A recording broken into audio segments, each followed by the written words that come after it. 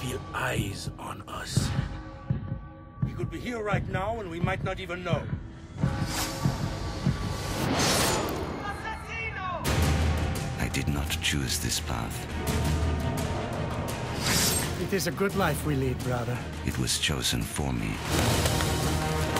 You and your collaborators are sentenced to death.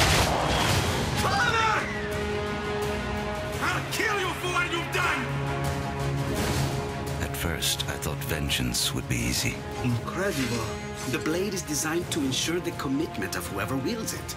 Leonardo da Vinci, I am in your debt. He is Rodrigo Borgia, one of the most powerful men in all of Europe, and leader of the Templar Order. For 30 years, I've lived in the shadows. Visited death upon those who deserved it. Vanished like the wind. I don't know who started this conspiracy. But I know who will end it.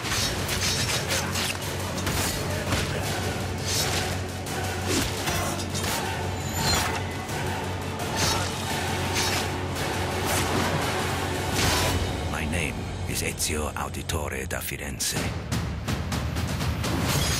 Like my father before me, I am an assassin.